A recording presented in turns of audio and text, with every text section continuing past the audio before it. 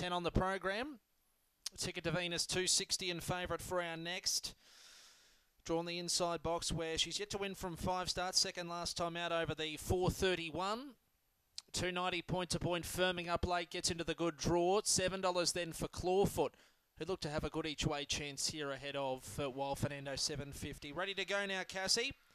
Set for action, racing and beginning well off the inside. Ticket to Venus goes towards the front with point to point, starting to rail up, getting to third. Then Clawfoot over on the rail. They were followed then by One Iron, and towards the end was Wonders Magic. Back there with it was Minnesota Knights and also Wild Fernando in front. Point to point, got the rails run, got the money. Point to point, beat home. Ticket to Venus, third Clawfoot, fourth One Iron. Then came next over Wonders Magic. They were followed in by Minnesota Knights, followed by Chasing Booty and.